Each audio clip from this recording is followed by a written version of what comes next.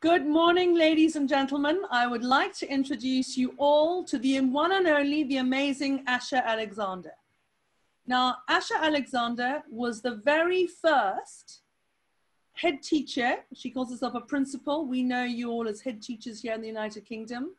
Asha was the very first head teacher that got in touch with me as part of our eduCCate Global program and said, I want every teacher in my school to be an eduCCate Global climate change teacher. And that was, you know, back then we just had the climate change teacher course and it was very simplistic. And I thought, yeah, she's just going to come in and she's going to do it herself. She's going to get a certificate and I'm not going to hear from her again. But that didn't happen. So about two weeks later, we started noticing that our phone started going absolutely mental and we heard this bing, bing, bing, bing, bing, bing, bing, bing, bing. And then my team, support team was saying, something is going on here.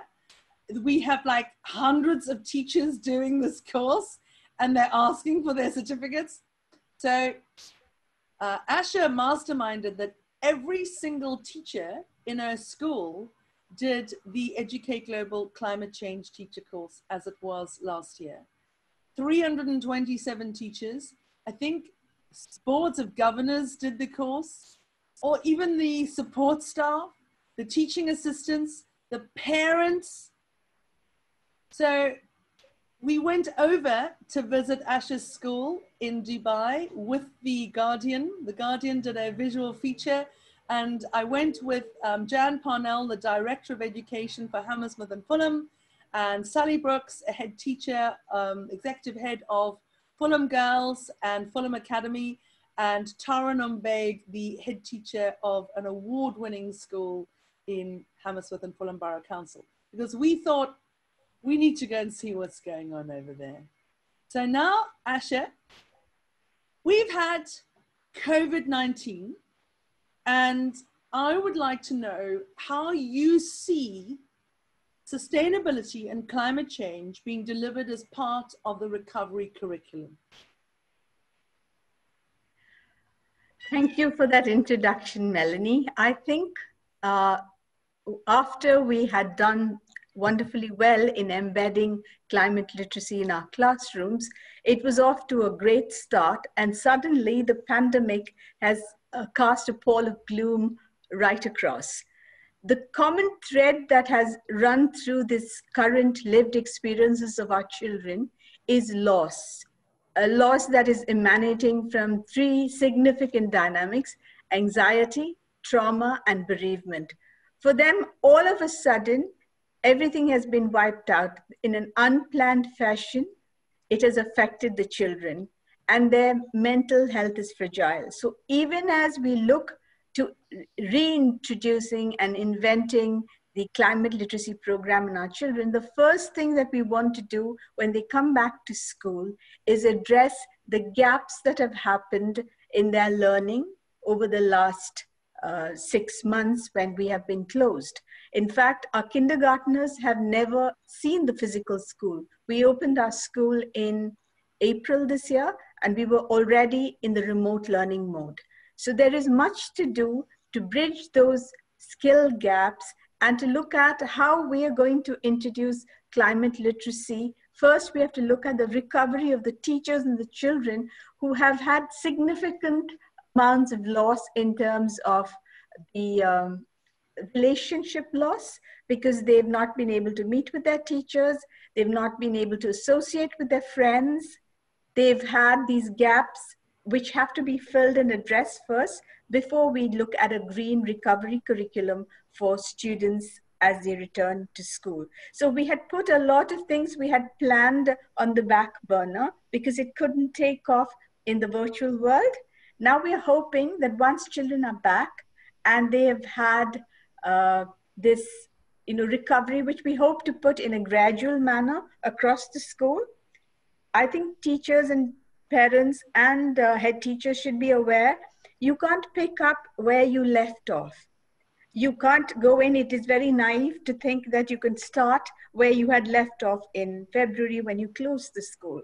So you have to be prepared for a different kind of children. We've all been affected by the pandemic. in ways that we may not realize. So it's not back to business as usual when we get back to school.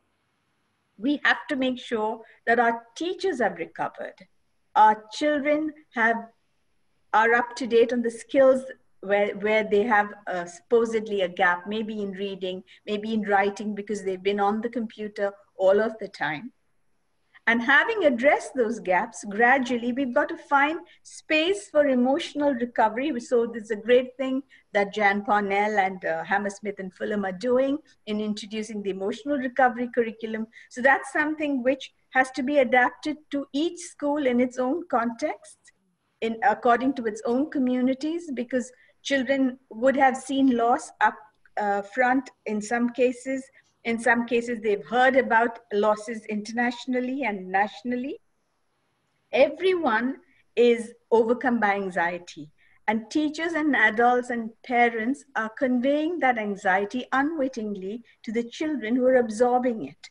So there's a lot that needs to be done to correct that element of our curriculum. And we have to see it as part of the curriculum. We have to make space for it. We have to make space for that recovery. We have to plan to introduce it gradually. And once we're sure that that human angle, that well-being of teacher and student are in place, then we can go ahead with transacting our uh, climate change and the rest of it. So the first thing that I would do when I get back and when I get our children back into our schools is to address uh, in a compassionate way the human element, which is addressing. We are all steeped in the results culture. We're running after outcomes and great results at the board levels and things like that. And we actually fail to see that if a child is not well and it's the teacher is not well, the outcomes will not be as good as what we expect. Children have, would have lost self confidence, self esteem, especially the teenagers. They cannot uh, build their sense of self against family rules and regulations because it is the peer dynamics that determine for them who they are. They're not uh, who they are because of what their parents say, they're who they are because of their peers. And they have to get back and establish those relationships. They're fundamental to learning. And if we as educators ignore this recovery, we cannot put any kind of literacy in place, let alone climate literacy. So that is what we're going to do as a first step to make sure that our teachers and children are well and safe and happy and they reestablish those connections because teaching is a profession that's all about relationships. And now we're only having relationships over the uh, screen. And you, you can't talk to children in the corridors. You don't know what is the, hiding behind their uh, screens. They mask their backgrounds. We can't even see what's going on as individuals in their homes.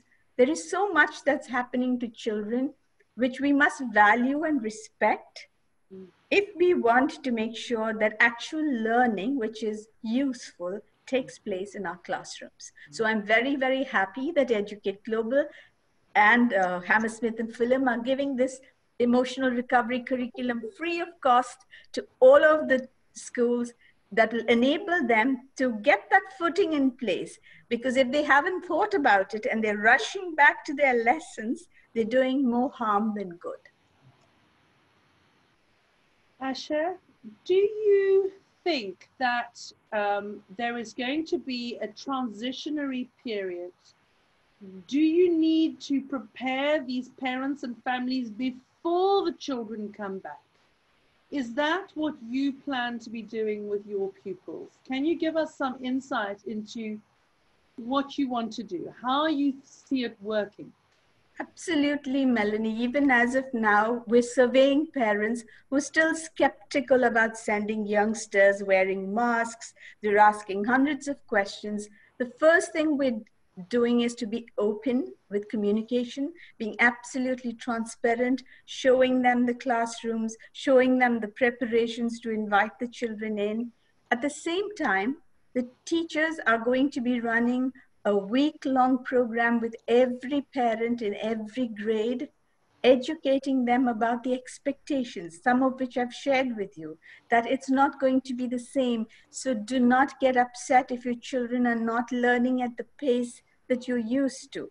Do not set high expectations of getting back and getting on with it and you know getting back your grades and learning. As adults, we sort of think we can switch between what is happening and what was very easily. Even we unknown to us have been affected to a great extent by the pandemic. Uh, we've also been resentful of our freedom being taken away. We do not like to go out. We, we would like to go out, but we're unable to do so. There are a lot of things that are happening that we haven't really spent time reflecting on to understand what is the change that is happening within us as adults and so parents must also be educated, made to think, and that is the plan we have in place for all of two weeks, starting Sunday. We're going to be talking to parents in small groups, field the questions, tell them what to expect, ask them to reflect and think about what changes have occurred to them. What have they seen in students who have been at home? How has their behavior changed? Was there a routine? Because if a routine was disrupted and there was no structure, it is very difficult to get back children onto a structure and a routine in September. It just doesn't say snap, you come back, sit in your class, wear your masks, and get used to the constraints being brought about by the pandemic.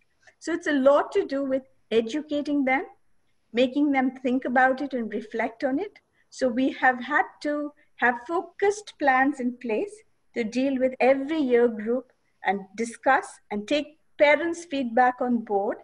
Because I think being transparent and building that trust, because they're leaving their children with us, is fundamental to making sure that our learning programs uh, take place effectively.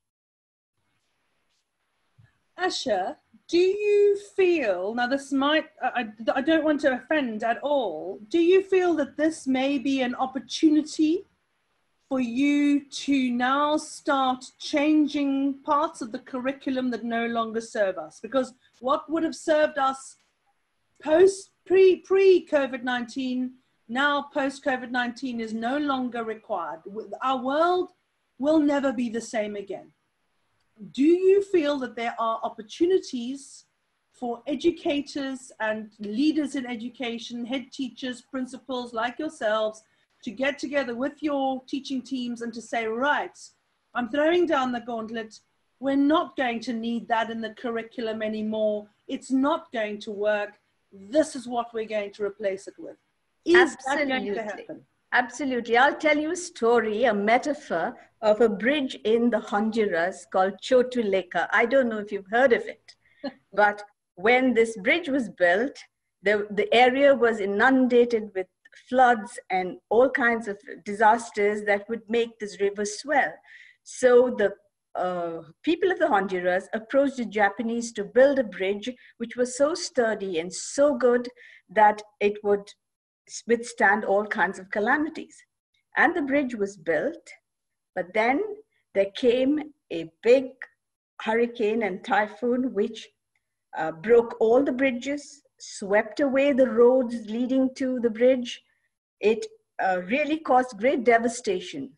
After the, the hurricane, the bridge was still standing, but the river Choluteca had changed its course it now flowed alongside the bridge, showing us that sometimes we make these plans and this curriculum and we live by it, but actually the problem itself has changed. So the solutions must change now. That is a metaphor, that bridge which runs now parallel to that river is a bridge that goes nowhere because we were so consumed with our curriculum, with what we are going to teach. It was all set in stone. It was the best that we had made. It's the best that uh, the educators had made. But the problem changed. The river moved its course to flow alongside this bridge, and the bridge served no purpose. So when we, we are so sworn to our ideas, our curriculum, and we are so rigid that we can't change and adapt to what is happening, that's very harmful. Therefore, what I would do is ask all head teachers, have a look at your curriculum. Some of the things are like the river. They have changed their course and they're no longer valid. So we have to make space for what is relevant in our curriculum today. And for that, it requires all of us to be brave enough to take that risk and not cling on to that bridge that we have built and say, only if you cross this bridge will you become successful because your bridge is going nowhere. Your bridge is going nowhere. Your river has changed its course.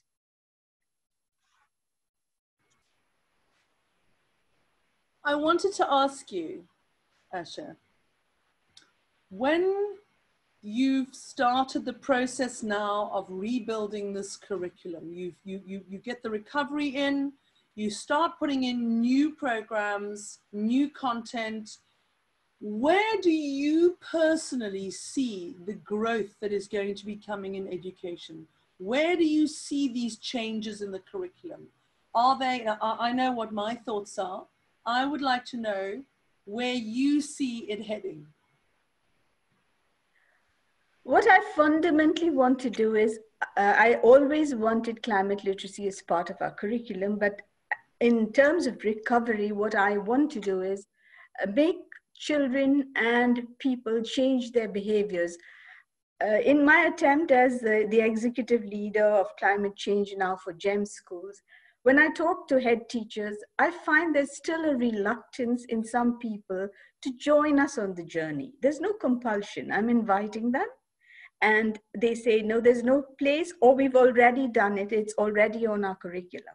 But what they have in their curriculum is very, very superficial. I, having done your courses, know how much I learned through those case studies and the amount of material that was there about climate change. Myself and my teachers included have a different knowledge of climate change now, having done the eduCCate Global courses. So what we wanted to do for our children is to first look at a sustainable diet, uh, because I think children are what they eat. And first, to get people to uh, do something, it has to be relevant to them. Now, it may not be about, so they want to become thinner, they want to become fitter, they want to become, uh, you know, uh, more healthier, and that will get buy-in from the parents and the children because it's something that you're doing yourself. In doing that, we are also going to be weaving in the sustainability factor whereby if you make the right choices which are healthy for you you're also going to be able to make right choices for your planet. And in doing that we're going to make that connect. We're going to look at how a good nutrition and a good and healthy diet exercise and sleep is going to make you not only healthier but it's going to keep the planet greener and cleaner we're going to do a research study on how this nutrition is going to affect students with special needs because i am beginning to think that many of the children who have attention deficit who have dyslexia who are uh, you know not concentrating is all due to a combination of their diet their sleep patterns and their exercise. So i think this would become very relevant as we go and at the same time, this is part of the green recovery curriculum I hope to put in place. Asha, how do you see the recovery curriculum starting to build those future world leaders? Do you think that there is a place in the recovery curriculum for programs and courses and blended learning and content to start the process of developing future leaders because they are in short supply. What are your thoughts on that? My thoughts are that leaders have to think differently. And if you're giving them the opportunity, if you're giving your children and teachers the opportunity to think differently and to articulate those thoughts, you will begin to see leaders. People are not willing to examine my bridge, which I was talking about. They're still saying that is the only way to get your degree and then to become successful in life. Today, the pathways to children are manifold. And if you want leaders, if you want really, you have to speak your truth. You have to have courage. You have to take calculated risks. You have to be ready to explore the future of uncertainties. Those who have been successful during this pandemic were those who were adaptable, who were ready to change, who were realizing, yes, now we need something different, and not trying to replicate a face to face classroom at home. Those who tried to do that were vastly unsuccessful. There were many things on the curriculum which we didn't teach because A, the resources at home were not sufficient, the environment at home was not suitable. So if I was trying to replicate my classroom, a face-to-face classroom at home, I would have made a disaster of it and parents would have been anxious. I would have been saying, print out this worksheet when there was no printer. So we used the resources at home. We tried to use what was around the child to educate the child. Because all of this, we haven't, we've lived through a pandemic at our age. I'm nearly 60 and I'm living through a pandemic. But there are my five year olds and four year olds who are actually wearing masks and seeing a different world. Now, they have learned and they are becoming leaders in their own right when they're given the opportunity to explore the impact of what is happening. And we must make sure that we give these platforms and we allow the curriculum to be flexible, to be relevant to what is happening around us. Those curricula which are not relevant, that are only conveying information, are not creating thinkers and leaders. They're just giving a body of information which already exists. And even that information is outdated. So if you want if the way we can use the post pandemic or, or the life after this is settled is to embrace the new, the uncertain with courage to explore and say, yes, you will make mistakes, but we must go after those things for which we don't have answers, not try to take what we knew it and try to make stretch it into the life after this period. So you need brave people, you need courageous leaders, you need risk takers like Melanie to make that happen. I don't know so much about being a risk taker. I think uh, I'm pretty just, just just off the wall crazy. Um, I wanted to ask you about testing. How? What? Just a just an, a, a sideball question here, curve curveball question. How do you feel about the testing of children and to make sure to check are they have they got um, the virus and if they have they should go home and self-isolate for a few days. Do you think that it is necessary for schools to become the testing agents, the testing centers for the for the economy to start moving again? Do you think that teachers would be able to do this? I think it's a whole lot that we're asking from teachers in a school like mine with 5,000 plus children. If everyone were to opt to come back, we, it would be very difficult for the school to be engaged in the testing process. Uh, I think if a parent were, everyone is responsible for their safety. The school must provide a comfortable, safe environment. There should be the required measures for social distancing so that children are not uh, infected.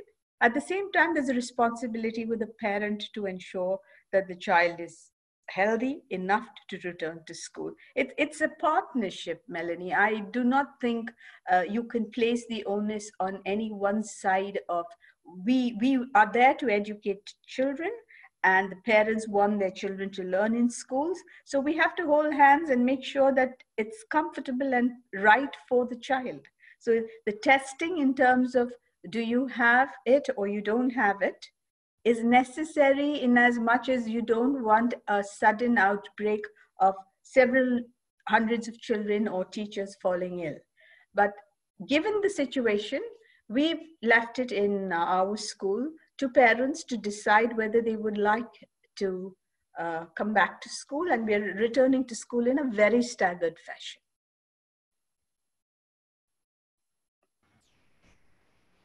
Asha, is there anything at all, if you had a magic bullet, if you had this, something that you could just wave this magic wand, what is the one thing that you would do for the world as a head teacher?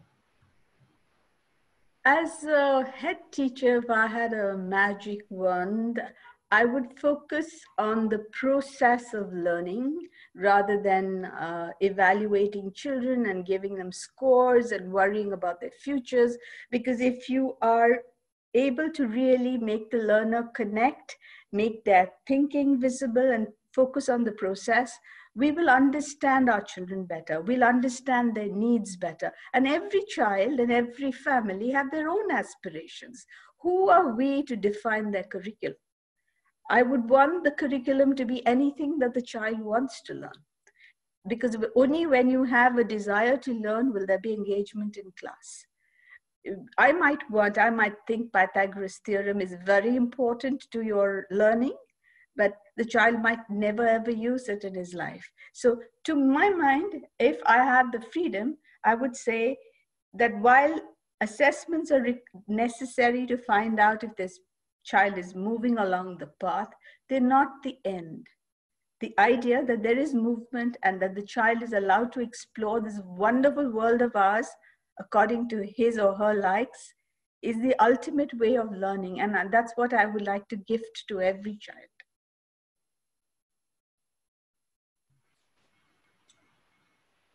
if you had your way to do that, to, to effectively just use assessments as baseline assessments to see are they achieving what they need to be achieving. Um, and you wouldn't be doing all the tests and the SATs and all the other stuff like that. You would probably be bringing in a new order in the world, Asha. So I think you might be a bit dangerous. I don't think universities are going to like you in government. I don't think universities will exist as they are right now. They are also threatened in the way because this pandemic actually has uh, opened up a whole lot of things, the Pandora's box, as it were. Questions are coming out about is this what we need? is is this absolutely necessary because i know that i've never got a job because of my degrees no one even asked them they wanted to know my experience. They wanted to know what i would bring to the table. They wanted to know what values i had. They wanted to know whether i was ethical. They were not asking me in which college did you study and what uh, degree have you got? And even if they did ask it was just a you know that must have been when i became a teacher for the first time. You know you just want to know that you've got through because that is the requirement. But today what you want are critical thinkers people who are able to take action. You look at what a greta thunberg is doing even out of school. You look at uh, young activists you look at young people who have not yet completed their degrees. They're doing a whole lot more than we've ever done in our lives. They're impacting the world. And personally, that's what I would want for every one of us to do. Leave our impression on the world. Leave our impression as unique individuals who'll never walk this earth again. We have to be the best versions of ourselves. And that doesn't always come through uh, academic learning. I'm not trashing academic learning. It's necessary, but you should be given the freedom to choose what you want to learn. Just as on a TV channel, I will see what I like to, or I pick up a book that I wish to read. I might read a genre for six months and then shift to something different. I am in charge of my learning. And the more we allow children to learn and just be facilitators and ask them the big questions, I think we are setting the right direction. Because I think children are not what they were. They're not waiting to be crammed with knowledge. They know much, much more in their own right today. They're not the learners of yesterday. They're not like me who had to ask my teacher for everything. They already know or they know where to find the answers. So it, it's, it's a lot more. What we have to work as educators is create ethical beings whose values are in the right place by modeling and giving opportunities to our children to grow as good human beings and to use their capacities for the good of humanity. Absolutely. The, the talk that Professor Paula Garb gave as part of the virtual, um, the emotional recovery and the recovery curriculum virtual summit, um, she has been working on uh, with us on the ver- on the we call it the the um, oh, I've lost my brain there. It's it's the Peaceful Planet teacher course, and we were talking about peace, incorporating peace and emotional literacy into the curriculum in a very big way, because we know that without peace and justice, we cannot have sustainability. Absolutely. And you and I are all about sustainability and living and changing the way we are so that we have a planet that is habitable left for all of us, that is still going to be this beautiful place, and even more so than it is now. Um, I, I personally feel that if we were teaching emotional literacy and peace within the curriculum, it will make a big, big difference when I was a child, if I wanted to learn something, I'd have to go to the library, get out the Encyclopedia Britannica. My father actually got us the Encyclopedia Britannica, and I'd only have a little piece that big on the item that I wanted to know. Now, if my daughter wants to learn anything, she goes on Wikipedia, Google, she asks how, she's in there, she's researching, she's going and finding research papers. I didn't have that at my fingertips.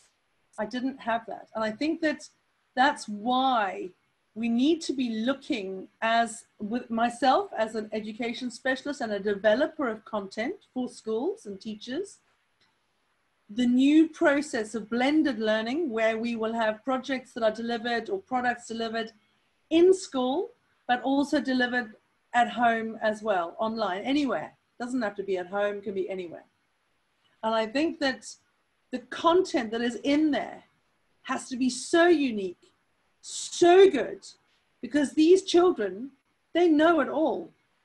My daughter, she did mini readers the other day. Um, she was doing a project, a science project. Um, and I said to her, well, can you, you know, you want to learn it. She was doing a, a mitigation of desertification. And I said, well, there's a great story in there about roof gardens in Egypt. So she's gone and she's watched it and she's read through the teacher's lesson plan. She's created a project and she said, this isn't really enough, you know. And I was like, what? And then I said, okay, well, you need to go and do the UN course on cities and climate change. She's a 12 year old. And if a 12 year old can do that sort of self evaluation, work through the project, do the content at home in her own time, go and do that UN course, come away and she said to me, Do you know that I have a UN certificate and my teacher doesn't? How sad is that? okay. The other project that she's been working on during lockdown is remember before when we were speaking, when we were in Dubai, was how to get pupils to understand the media, how to be media savvy, how to have, we call it um, PR for your school so we took a program called Get Media Savvy, and my 12 year old daughter presented it as, as I would want it presented to children. And I left it at that. And she took everything she learned, she contacted the journalists, she got herself into the Guardian newspaper, Metro Money, BBC, and the Evening Standard. And only once did she ask the journalist to speak to me to get permission to give photos out. and I just said, How did you do that? And she said, Everything was there. You gave me the course, I learned the method, you showed me what to do, I followed it, I went and communicated. She said, It's the communication skills. She said, You've got to sort that course out because my communication skills, I need to know how to phone somebody and what to say and not go, Yeah, okay. Um, she said, Mum, you know, you've always taught me to say, Good afternoon, Hannah Jane speaking. She said, That really helped. so that, that to me is interesting because they have it all, but they want more. They don't just want the standard, that old textbook stuff, like the Encyclopedia Britannica and all the other stuff that we've seen out there online. That doesn't serve them. yes. They want more. No, it is, It is we who have defined their boundaries. We decide what they must learn in every grade level. We set a cap on what they can learn. And we tell them, no, you learn more about it the next year. But these children are not going to wait till next year. They're not even going to wait till the next moment. If they want to learn and they have the means to learning that, they're learning by themselves. So we have to reinvent ourselves as teachers because our roles as we knew it is not going to be the same anymore. I think it's very exciting. I think that we've been through um, a traumatic, traumatic experience. Um, we, we took our elderly grandmother, uh, who's 80 years old, out of the um, elderly home. She lives with us and she's transformed our lives. We've learned more from this octogenarian about life and the past and the future than we could ever have learned from any Google, any TV program. Uh, my mother was obsessed with the daily death count. And then we got rehomed hens, and now she's obsessed with the daily egg count. and we can learn from experiences. We need to start tapping into humanity, into that collective brain that is out there. We are losing so much by not integrating and asking humans. We go online, we think everything is online. We need to start asking our peers and our parents and our grandparents and our great grandparents and our aunties and our uncles and I, there are, you know, we had a lunch the other day. I met two girls. Oh, I've got to teach you about this. You've got to see this, Asha. Your kids will be doing this. These two young girls, 11 and 12, they entered a handwriting competition called 500 Words, and they didn't win. So they said, Oh, you know what? Doesn't matter. And they wrote their own books and published their own books. And they said, Who's the winner now? I was like, yeah, okay, cool. And we were sitting around the table, and the mother was sharing us their grandfather's chili oil. And I said, Well, is your granddad still with you? She said, No, he, he used to travel all, he, all over the world to all the families. And every family member has their own favorite recipe, but they use his chili oil because that was his gift. He used to bring this oil. And I said, But have you got a, where are these recipes? And she said, I don't know. I said, well, can you make a book? Can I have these recipes? Because I was, there was the side dish. Ah, oh, it was mind blowing. And I said, no, I've got to have this recipe. We need everybody's recipe. Yes. We need to start tapping in to these recipes, these family recipes, these family ideas, the learning from generations this is what you're doing, Melanie, in bringing together so many people to speak of their experiences. You're creating the recipes, you're putting it out there for the world to take. And that's wonderful because that's what eduCCate Global has been doing, and that has been your mission right from the start to give. And God loves a cheerful giver. And you've been giving and giving of yourself until I don't know uh, if there's anything left to give. Because every time I see everything coming together, you have contributed much more than I have seen people do in a lifetime in these last few years that I've known you. That's very kind of you, Asha. I just think, you know, you've, you've, you've got to give to get. You, you, you have to give. I, sometimes I wonder, I, you know, I have I have some teachers sending me really nasty messages. and They go, "Why is this not available anymore?" And then I say, "But it's changed. That was April last year. You're phoning me in August the next year. Mm. it doesn't exist anymore. We evolve. We move. We we have to be nimble. We can't, you know, the old bureaucracies." Where they create an old course in 2016 and they think that that's still no, we move you know, we've got to be nimble. So I'm really looking forward with you as the, what is you? You are now the executive director of climate change for all of the GEMS group globally. Yes. yes. And you are going to be ensuring that every single GEMS school gets an eduCCate Global Award, at the least the Bronze Award. Yes, that's that's the intent, Melanie. Good. But like I was sharing with you, I don't compel people. They must, you know, when there is a champion in the school, like Vijaya is a champion in her school. She's really invested, and you can see the difference in her interest levels. Uh, and if the leaders and the teach the principals don't support the champions of sustainability, they can't get things off the ground because much as they wish to do it, they do not have the authority to implement it in their schools. The most valuable lesson for me was failing. My idea was I honestly believed that we only needed one climate change teacher in every school. And you taught me that I was wrong because you, you showed me that it has to come from the top of that pyramid. It has to be the head teacher, the principal. You have to nominate your sustainability and climate change lead. They have to nominate their five support team members. And that's the start of your process. Having that first leadership team. And then when they go up to silver, having one for early years, one for key stage one, one for key stage two. That is how you integrate your levels and your layers throughout your curriculum because they have to know that that leader says so. That leader believes in it. The leader wants it to be so. It is going to be so. Yes.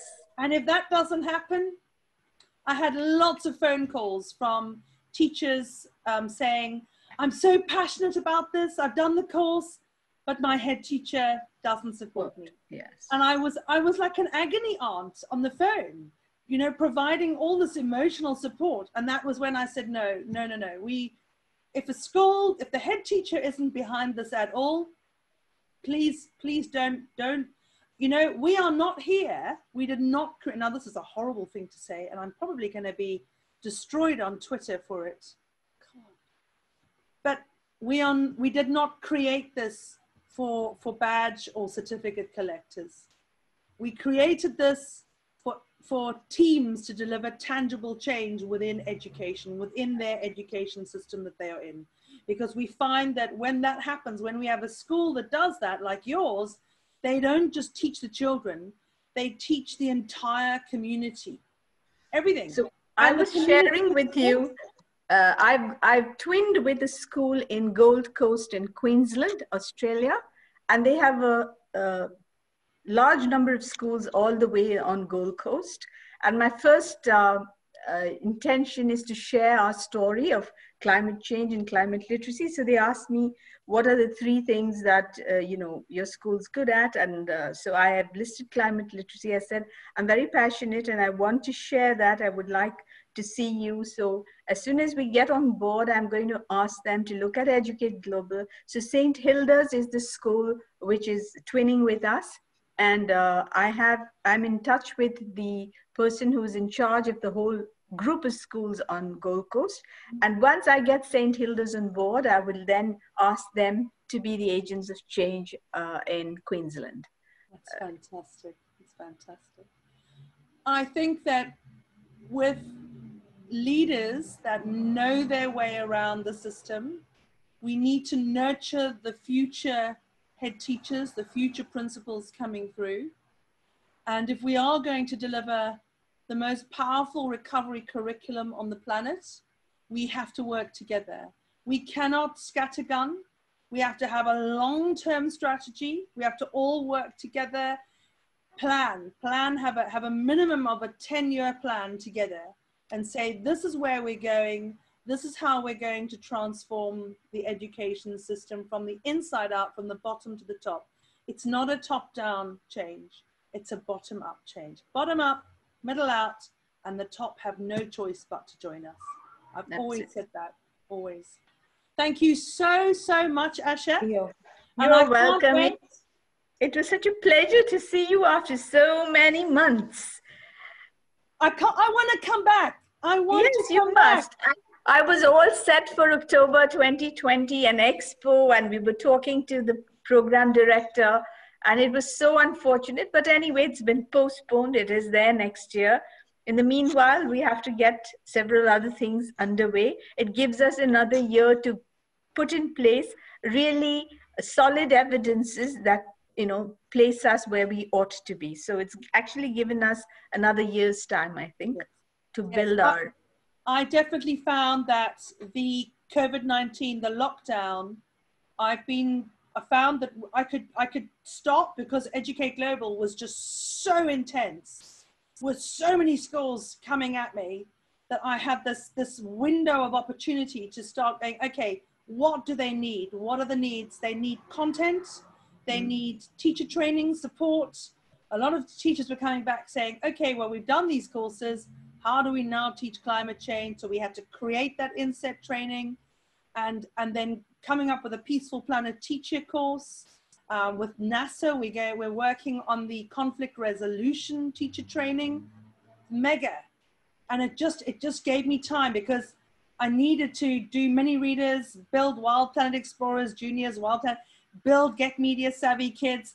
I had some time to get everything together uh, and, and do, do the crazy stuff and start trialing it so that as of September, when these schools start coming in to recover, uh, Hammersmith and Fulham Borough Council, we're going to have all of their schools are going to do the bronze and the silver award but they are the ones that have kindly you know they've they've given me permission to give this emotional recovery training for teachers. It's so good.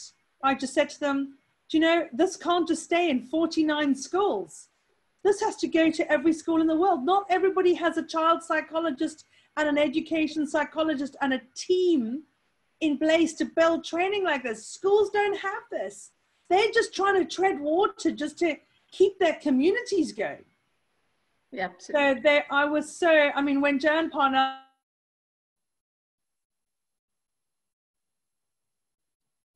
said, uh, so that's where we go, and it's going to be so cool. And I want to be looking at everything else we're doing in the near future. And we're going to be seeing you again soon, Asha. Yes. It's... I was looking at all my photos of us on the sand dunes. I was looking yesterday. I was looking. It was like, really oh, lovely. I want to go back.